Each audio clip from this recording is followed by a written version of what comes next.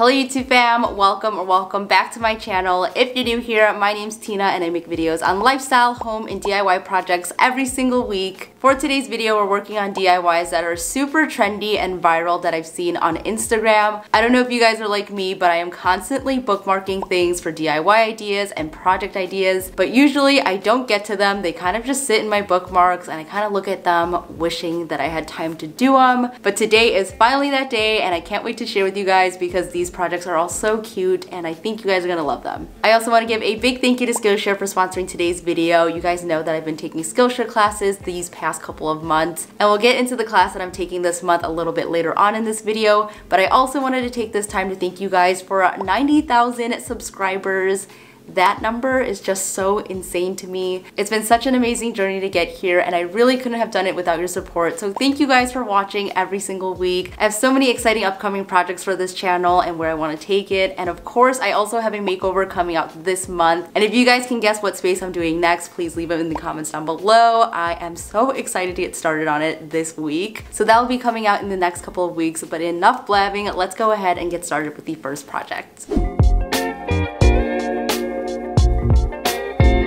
Hello from VoiceOver Tina. For this first project, I'm using Jesmonite, and if you guys haven't watched my video on Jesmonite, I would highly recommend that you check it out to learn more about it, especially if you're not familiar with this medium. So to start, I'm measuring out 75 grams of the powder into a cup, and I'm using my little scale. And don't judge me, but I'm reusing my Taco Bell cup just because I like to save and reuse whatever single-use items I can for DIYs. Then in a separate cup, I'm measuring out 30 grams of our liquid base, and this is going to be a 2.5 to 1 ratio of powder to liquid. This is super important to keep in mind so that you get the best results possible, and I will also link this kit down below.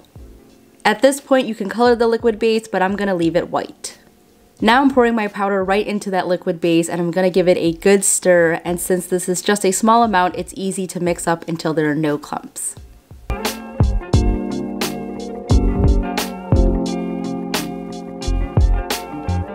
So we're just gonna pour this right into a coaster mold and I'm actually gonna use this as a trinket dish just because there's a lip and that is perfect to use for jewelry.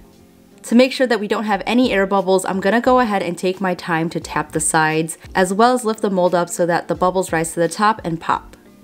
Alright, so we're gonna let this sit for about 30 to 45 minutes, and since this is a coaster, it doesn't take too long to harden.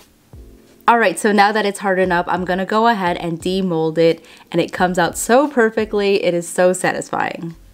At this point, the Jesmonite is actually not at 100% of its strength, so it's really easy for us to break, so I'm gonna go ahead and just bend it in half with my hands.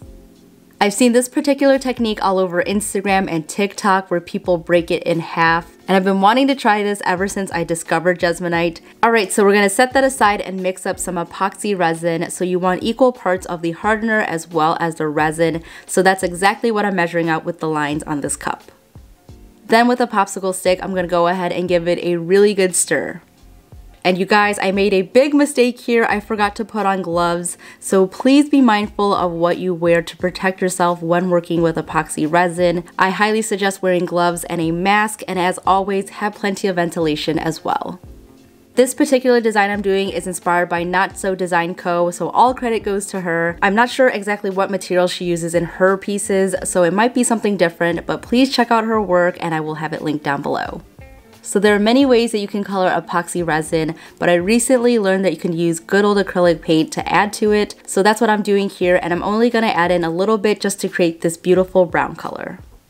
I wanted it to be see-through, so I'm adding in the smallest amount and I'm also gonna give that a really good stir.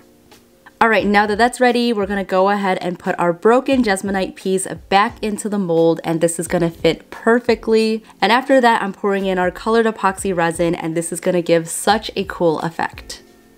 And again, I'm tapping the sides until all the air bubbles are gone and I let it harden overnight according to the directions on my epoxy. The next day, I went ahead and popped it out of the mold and voila, we have our cute little trinket dish.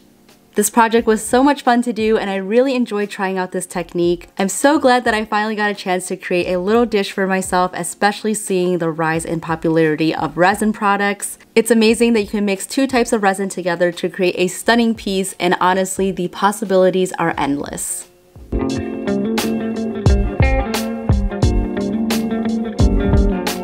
So I'm interrupting voiceover Tina to talk to you guys about today's video sponsor, Skillshare. If you're not already familiar with Skillshare, which you guys probably are if you watch my channel, they are an online learning community with thousands of classes for creatives and learners at any skill level. For this month on Skillshare, I'm taking a class from a fellow YouTuber that I've been watching for years. Amanda Rach Lee, the bullet journal queen, has a class on there and it is so amazing. The class is called Art Journaling for Self-Care, three exercises for reflection and growth, and I think you guys would love it. I've actually been wanting to take take this class for quite a while now and I'm so glad I did because I just learned so much from her. And aside from their art related and lifestyle classes, Skillshare is a great tool for any type of learner. They have classes ranging from business to photography and even interior design. And I love that Skillshare is constantly updating the library so you can always find something new every single month.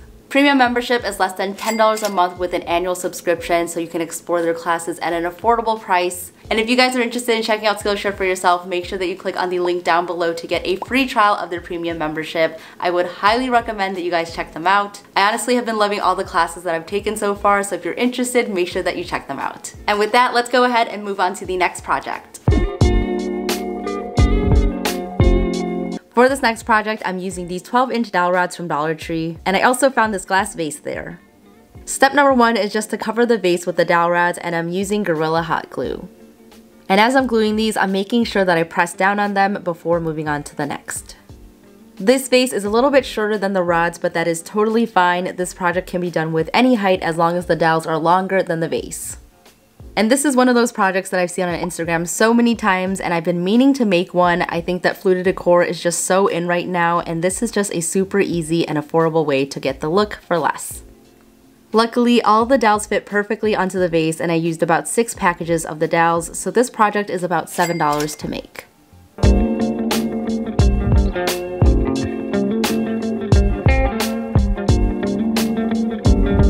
Since some of the dowels vary in texture, I went ahead and smoothed out the edges and I'm just using a very fine grit sandpaper to get rid of it. Also, one trick for getting rid of those hot glue gun webs is to heat them with a hair dryer, and this is super handy especially when you're using this much hot glue for a project. You could totally stop the project here for a neutral wood look, but I wanted to add some color to it so I'm going to spray paint it with a matte clear coat first. I was afraid that the wood would soak up a lot of that color, so I wanted to create a barrier from the wood and the paint color, but this step is totally optional. I'm really having a moment with olive and sage green tones right now, so I'm using Oregano by Rust-Oleum on this piece. I ended up giving this two coats and you really want to be thorough here, especially since there's a lot of crevices, so you want to hit every single spot. This trendy DIY project is so simple but has a beautiful end result and I am loving the fluted decor trend right now. I definitely want to add more of it into my home and this is a great and inexpensive way to do it.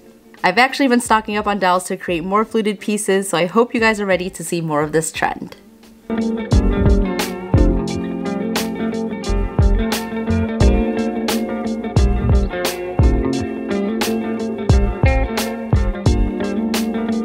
I'm in the mood to paint today, so we're gonna create a fun boho inspired painting. To start, I'm painting my canvas this gorgeous raw sienna color by Americana, and this is gonna take about two coats to cover completely. My best tip for getting an even layer of paint is just to start off with a thin layer and feather out the edges. I did about two coats of paint on this entire canvas and I absolutely love this color.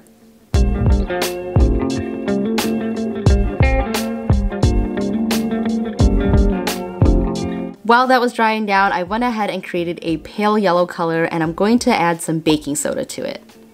For this mixture, I wanted it to be a tiny bit thicker than what I usually use on vases, so I added a bit more baking soda than usual.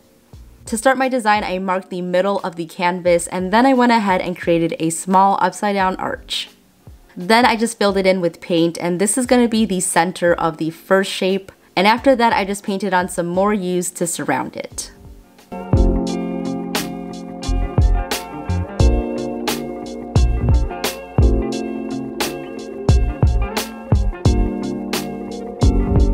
You could totally freehand this because we want it to look very organic, but one helpful tip while doing this project is to use a ruler, and I like to use this as a guide to make sure that both ends of the arches are even across the top. And although I do want this to look abstract and organic, using a guide is going to help us create a more symmetrical design. And don't forget to wipe off your paintbrush every so often. The baking soda is going to build up a lot easier on your bristles, so it's important to clean it to ensure that the thickness of your strokes stays even throughout. And you'll see that after I get one layer of the paint down, I'm going to go over it again just to add some thickness, which will also add to the texture. Once our first little upside down rainbow is done, I went ahead and just repeated that same process right underneath it. These shapes and the overall style of painting is super popular on Instagram right now, and by adding in some baking soda onto our paint, it's really going to give us a nice contrast in the textures between the background and the foreground. I haven't done the painting like this in a while and I really love sharing painting projects with you guys because it requires minimal supplies and I think that wall art truly makes such a difference in your home. And even if you don't replicate the same design, using the baking soda technique is really going to give you so much interest in texture, so I think you should definitely try this out. To clean up some of the edges, I actually use a smaller brush with the paint color of the background, and this is going to give us a really nice clean look. The style of painting is super trendy right now, and with just a couple of supplies and tricks, we're able to achieve this very graphic and boho look. I really love the subtle texture that the baking soda paint gives us and I totally want to try this on more paintings in the future. This painting would look so awesome in a gallery wall or even on paper as a framed piece of art. I hope you guys enjoy these tips and try it out for future projects in your home.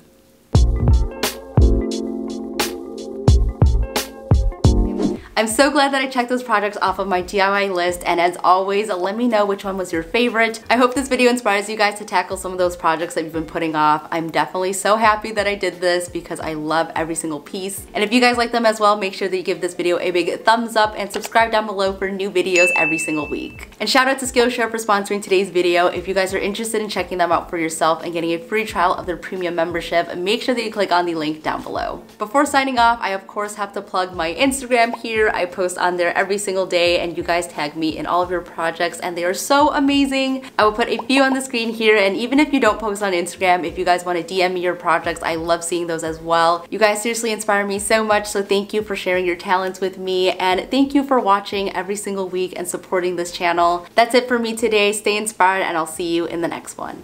Bye!